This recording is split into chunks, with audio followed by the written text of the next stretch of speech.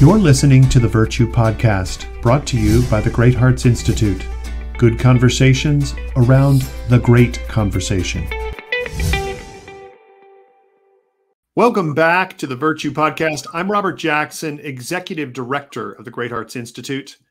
And today we're going to be spending some time with a gentleman who has been extending that great conversation right now in our day. He's definitely committed to classical liberal arts education. And I would like to welcome Dr. Mark Bauerlein. Gosh, I couldn't even get that first word out there. Dr. Mark Bauerlein.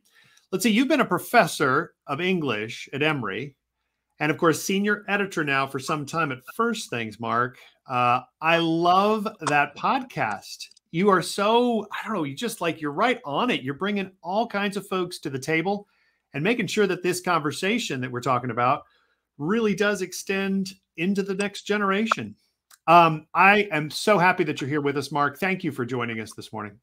Well, I'm happy to join you. I'm happy to work with Great Hearts and the Institute at any time. Uh, you're you're doing the right thing. You're doing the timely thing, and as I often reiterate when I talk to people about classical education, you've got a real good trend when it comes to numbers. The demand is growing for classical education, and it's it's stronger than than you have the resources to meet, isn't it? Well, it is. You know, when I joined the organization nine years ago, there were about 7,000 students in 16 schools right here in Phoenix. I couldn't believe it when I heard about it. I thought, streams in the desert, what is this? You know, why didn't I know about it? But since that time, we have more than tripled our numbers. Today, this fall, We've got 27,000 students in three metropolitan areas in 40 schools, Mark. 40 schools. It's really a boom town out here in the Southwest. It it's especially inspiring to me because I, I, went into the academic humanities as a graduate student in the 1980s. I went into English and I was at Emory University for 30 years. And just to give you the opposite trend taking place in academia in the humanities, in 1970, one out of every 12 or 13 bachelor's degrees in America was granted in the field of English. Mm-hmm. English majors made up about 8% of the entire college population. One in 12 or 13. English was at the center of undergraduate education and the humanities broadly. Uh, in 2019, that number one in 13 had fallen to less than one in 50. Hmm. The humanities over the course of my career shrunk. The students have voted with their feet. The reasons are, are many, but I put one of the top reasons being the abandonment of the classical model in the academic humanities, the turn toward ever more contemporary uh, works, toward more contemporary theory, and then the focus on social issues more than literary history. Mm-hmm. Socialists as being race and sex, all the identity issues that have actually turned a lot of students who might have been English majors, turned them away toward somewhere else. They came into college and they had a great high school English teacher who made them fired up about Dickens or Hemingway or Jane Austen. And they got into the academic humanities and found that the great joys and illuminations of those masterworks were not the focus of the class. The joy was gone. Hmm. Uh, identity politics has no sense of humor. We know this uh, it's not about inspiration. It's really about questioning inspiration, critical thinking about our loves and devotions. And, you know, that's fine once you reached a certain level of your education. That's fine for the graduate seminars. But for the freshman and sophomore who's just coming out of school, going into the big wide world, uh, away from family for the first time, and looking to experience great things, hmm. big things, and finding these classes are kind of a downer. They lose that that inspiring experience that they got in the high school classroom and they go somewhere else. Mm. I would say that one of the draws of the more classical liberal education model, like we see at Great Hearts and other classical schools, is precisely the return to the profundity and the brilliance, the genius of the masterpieces, mm. those things that have survived the centuries and that we first must go with the young person's natural inclination toward reverence, toward appreciation. Those are good feelings, mm. Robert. Gratitude. Mm-hmm. This mm-hmm. stuff is so great. I am so happy that I know the story of, of Odysseus returning home. Mm-hmm and and bending that bow. I am so happy that I have in my sensibility uh, Mozart and Beethoven. Even if you know they're they're they're jaded, they're teenagers, they're Americans with their with their iPhones, and they're they're caught up on TikTok videos. I think actually they they do naturally respect hmm. those works of the ages and that for us not to provide them well they, they make their judgment and, and they go somewhere else but mm. they're coming back. And i think that speaks to a natural hunger in the 15 and 16 year old for what you have to offer in your curriculum. Well I, I appreciate that mark because i think you're you're you're on to something. We need to appeal right to the students and to their families at that visceral level. What does bring us pleasure? Why is it that great works have stood the test of time. Uh, there is, to, to use Chesterton's fine phrase, a democracy that we must attend to uh, beyond those of, uh, of our contemporaries, the democracy of the dead. They have voted that these works are somehow extraordinary. Their excellence uh, suggests that we should attend to them, that and that we will benefit. Right? Again, let's just appeal to folks at the most basic level. What do you like? What do you see here? What are you what are you sensing as you enter into these works of imaginative literature into into times past? And that's the way we were hoping to bring liberal arts and the humanities uh, to the next generation.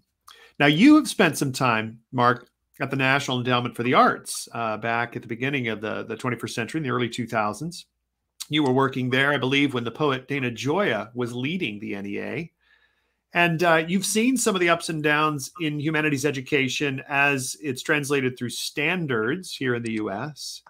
So I'd love to hear a little bit more about what you saw there and how you would compare what we would assume is higher education's trajectory, as you just described it, towards a more cynical outlook and uh, and really, as you said, the students voting with their feet. They've they've sort of thrown their hands up. Uh, if the humanities are in decline in higher ed, what is their status in K 12 education generally?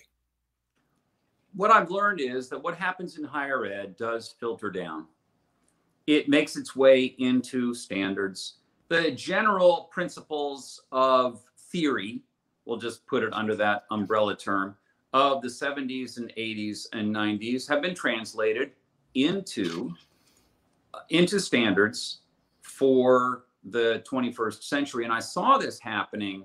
I saw the process taking place at the National Endowment for the Arts. In the early 90s, arts educators came up with a set of standards. And this was following the standards movement in general in education that came in the 1980s, especially after that report, uh, A Nation at Risk, came out. And the whole accountability uh, regime was created with testing and standards and, and, and budgets following uh, their performance from the federal government.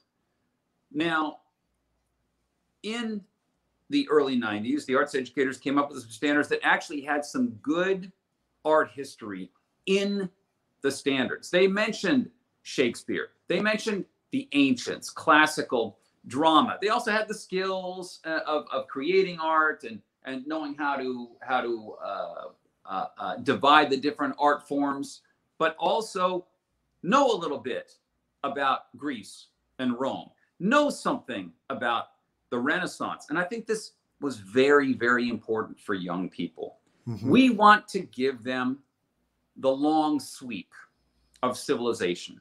We want them to feel like they stand in the shadow of greatness and it's their inheritance. It's mm-hmm. for them.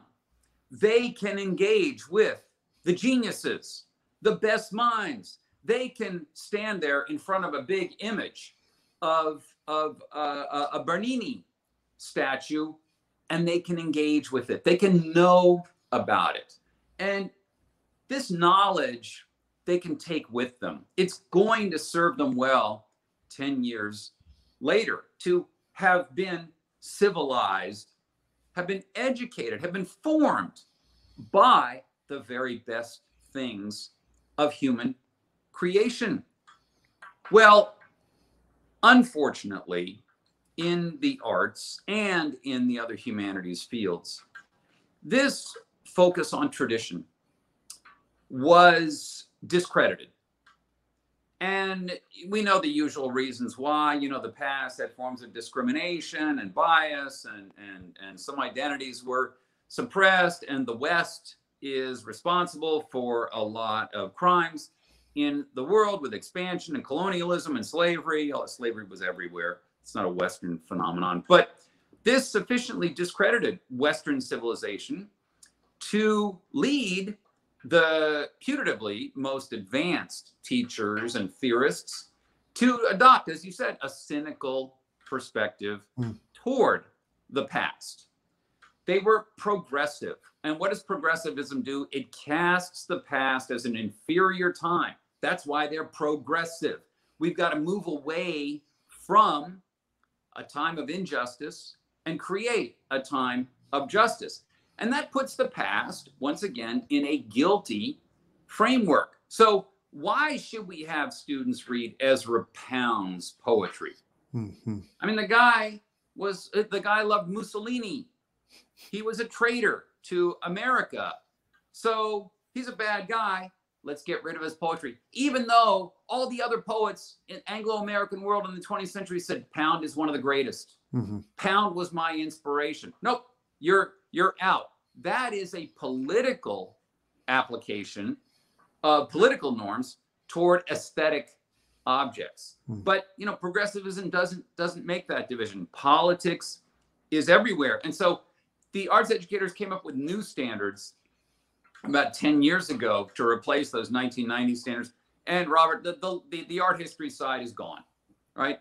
It's all going to be about identity and it's all about certain skills and, and meaning making in in art and the the long shadow of the heritage is gone and unfortunately this has happened in in english and the the humanities as well broadly because and this is what i found being in standards meetings and mingling with educators with the decay of the curriculum the traditional curriculum during the course of the 80s and 90s and aughts a lot of the people now teaching in the humanities at the secondary level they didn't get a good humanistic education themselves mm-hmm, so mm-hmm. that if you say to them as i've said in meetings before listen we've got to have john dryden represented in this curriculum. Dryden is one of the great wits in all of english literature. And then i look around the room and robert i realize none of these people have read john dryden. They've never read him. Yeah they don't know right. it. Right. And they get nervous because when you say to them, John Dryden, when they talk about Western civilization being being racist and sexist, you say to them, but what about what about Beethoven's Fifth? What about what about what about the prelude to, to Wagner's Tannhauser? They haven't heard it. They don't know it. So that that you can't argue with.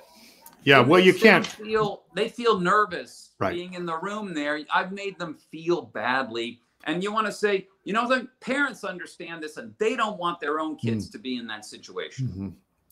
You know, it's uh, the, point is well taken, and you should take it easy on them, right? I mean, I'm sure their feelings are on the line. They are feeling a bit insecure, no doubt, in those meetings if they're unfamiliar with these works of greatness. At the same time, if there are leaders, uh, we do need to hold them accountable. Perhaps we just need to erect an alternative. Uh, some institutions like our own that are are promoting the works uh, that have stood the test of time. As I said, when you were there at the NEA, uh, you you detailed some of this, by the way, for us, and you've been a regular, a mainstay at our uh, at our gathering, the National Symposium for Classical Education, and I I thank you for your your consistent contribution. But this last spring, when we were discussing the fine arts, you took a close look and drew from your time at the NEA, and you mentioned in, in at one particular point in your talk that you heard uh, an educationist speak in the following way, and you said he said. I don't teach a subject. I teach kids. Now, you spent some time in your talk unpacking that. Perhaps you could explain to us what's in that statement. What does it assume about art education? I don't teach a subject, I teach kids. Isn't that plain spoken enough? What's behind that? You, you know, the person who said that, it was in, a, it was in a, a meeting, the person who said that, not only did the sentence have uh, a semantic value, it also had an emotional value for him. When he said that, he felt so good about saying it. This is what often finds about progressive educators. They they feel so virtuous about their position. They're very happy with themselves for being on the right side of history in, in these matters. And we know what he really means. He means this is a child-centered approach to learning. It's not about the stuff.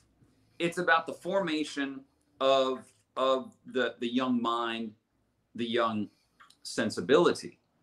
And when we see this Rousseauistic focus uh, upon the the person, the child, and less upon the content, the subject matter, what we get is, among other things, low test score results, right? We are not giving young people the cultural literacy that they need to understand those passages that are chosen on the ACT and SAT exams.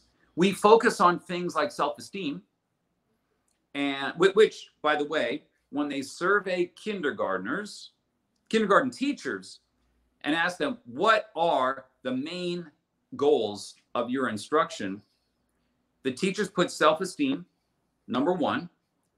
When they survey the parents of those kindergartners, the parents talk about learning, starting to learn to read, hmm. doing a little pronunciation work. The parents are not about the children, they are about the material to be learned. The parents, though, self esteem. Now, we do know that self esteem focused education has absolutely no evidence as a productive pedagogy. A lot of very high performing kids don't have very great self esteem. They're very self critical, which is, in fact, instrumental mm-hmm. to mm-hmm. Their learning things. So, the, the, uh, to me, what stood out was not so much the the pithy expression of the child-centered approach as really it was really the self-satisfaction mm. in in yeah. looking at things that way as if people like us who say no no i don't teach uh, the the 11th grade teenager i i teach alexander pope i teach emily dickinson that's what I wanted. That's what I care about. And I care about them learning mm. that stuff because I think it's good for them. yeah, well, and yet, for them. Well, and ironically, true esteem for the young person is found in the very competence and understanding of these works when they That's can right. read, when they are culturally literate, when they can identify an illusion found in a text they they feel thrilled right? They they they can truly wonder at that which is there before them. And i i i suspect it's really a false dichotomy the idea that the child and the child's esteem is somehow in juxtaposition or opposition right to the work to be done where yeah. we learn in these classrooms. That being you know, said you go ahead go ahead. When i was at the arts endowment uh, dana Gioia created a program called poetry out loud hmm it was a national poetry recitation contest. And it was modeled on the National Spelling Bee, which is an intense national competition mm-hmm. where kids have to get up and, and spell the words. Here, kids had to get up and recite a poem by memory and act it out. And we had judges saying, who is doing the best rendition? And not only did we do this, but we created a poetry list.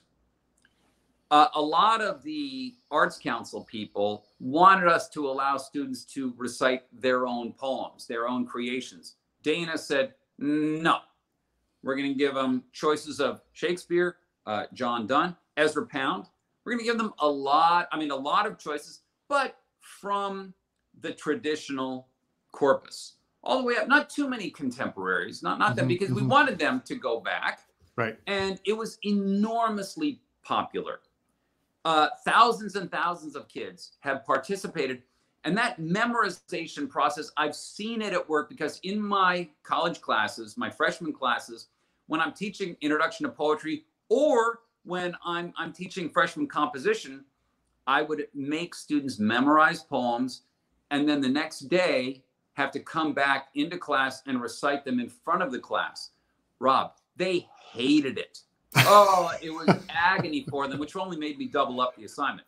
But the uh, the the unusual task for them uh, really daunted them, and they kind of complained and they were nervous about it. Not only the memorization, but standing up in front of the class. Not me, in front of their peers mm-hmm. and recite it. And they would get up, you know, sometimes they would stumble, and I'd say, wait, wait, wait, you know, think, pause. Maybe we give the student up there a one syllable clue. And the student who got through it, the agony, on the way back to her seat, a genuine expression of accomplishment, mm-hmm. relief, but also I did it. I did something and I finished the task, a little applause, and I deserved it because I did the real thing.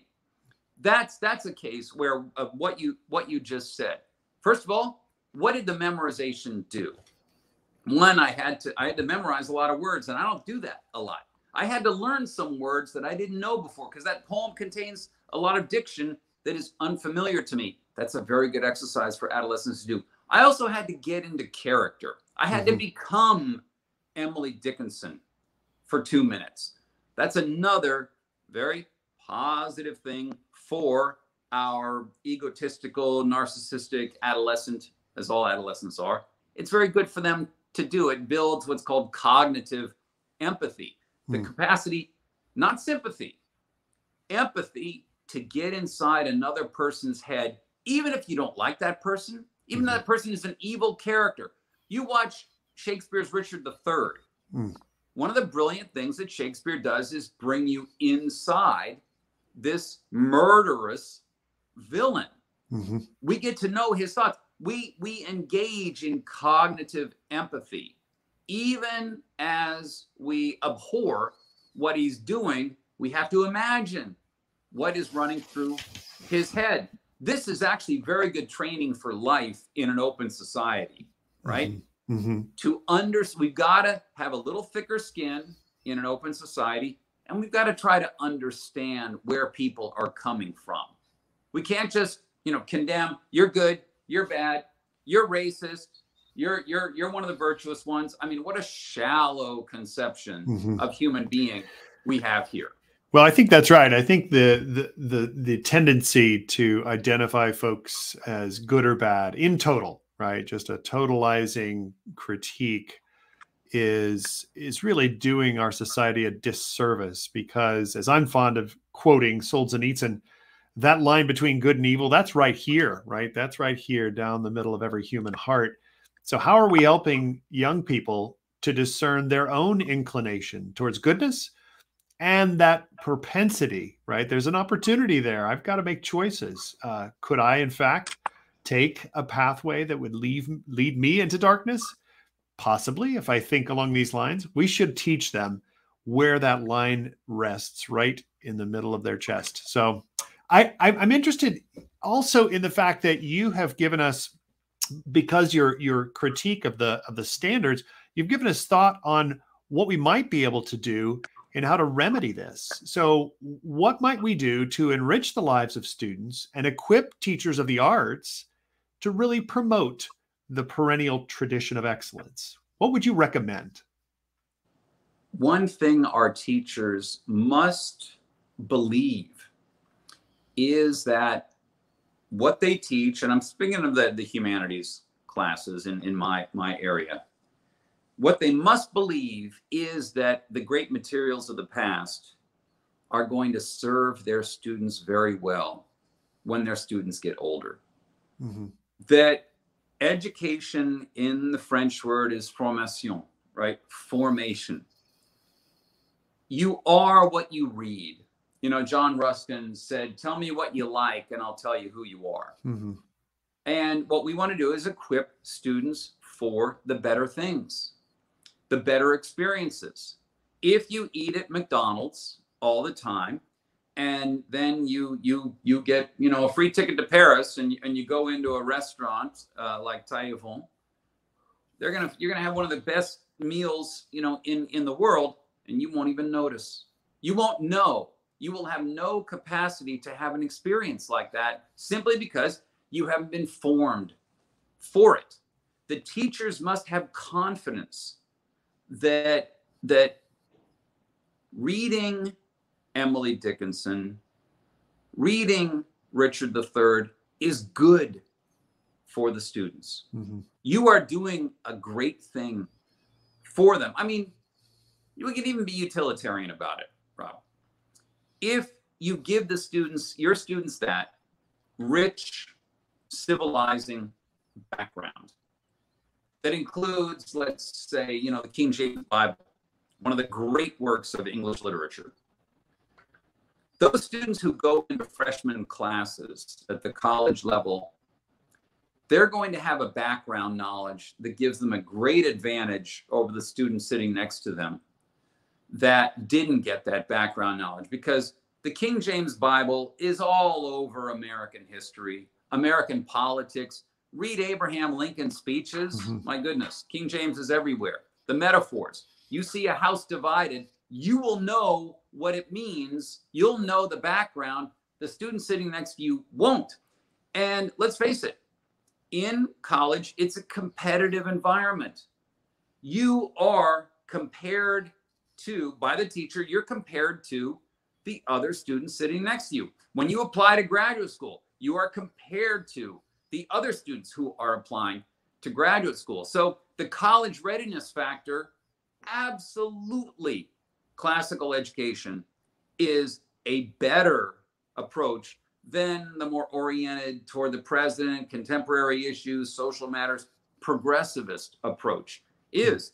And I, I, I, think that we're getting more and more research now that shows the classical students doing very well when they when they go to college and also actually you know the, the kind of lives that that mm. they lead. Because your students are going to face difficulties when they grow up. You know the the the girl you loved her she was perfect and she dumped you okay? If you have great love stories of the past including stories of rejection with Dido and Aeneas or Odysseus and Calypso or, or all the way up to Gatsby and Daisy, you're going to have a reservoir. There'll be a background against which you can just have a little more understanding of this disappointment than you would if all you had were you know contemporary uh, Marvel movies mm-hmm. and and those ridiculous you know juvenile love stories that we see in the in those films. You can just have a depth of understanding. It's going to help you deal with disappointment. You know, you didn't you didn't get you didn't get that school you wanted to go to for business. You know, get your MBA. You didn't make the cut. Well, a good a few stories of disappointment like death of a salesman again it would it would temper the shock and it would give you an understanding for what's happening and you wouldn't be so reactive to to things. And i think what we see now is so many young americans are, are in their 20s early 30s the millennials that there's a sour mood out there. And i think a lot of it is due to the fact that they have no foundations they have no roots they have no historical sense of themselves of where they stand in time and history because they didn't get what Great Hearts and other schools like that offer. Mm. Sad to say that's true, but hopefully, with our continued growth and the growth of the classical renewal movement, more students, more families are going to be enriched with this tradition. And I, I think you're you're right to say that not only do we need to have a very sound intellectual formation of these young people, but in so doing and doing well, we're actually equipping them for the emotional maturity they will need for life, and uh, and that brings me great comfort. Mark, I got to thank you. Uh, this time with you and your continued encouragement of what we're doing. Uh, within this classical renewal uh, makes a good bit of difference. We need you to speak to those teachers, just as you did a moment ago, and say, be confident, right? What you're bringing to those young people is going to outfit them for life. Thanks again for your time with us, Professor Bauerlein. It's always a pleasure. Thank you, and I will see you soon in February. In February. Join us next Tuesday with the wonderful, the amazing Professor Carroll, who will help us explore the joys and the delights of music. Until then, have a great day.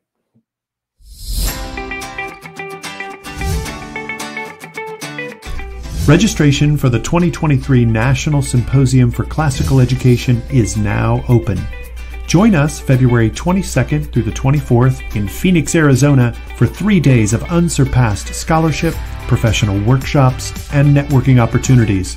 For more information, visit www.greathearts.institute. Working together to renew the tradition.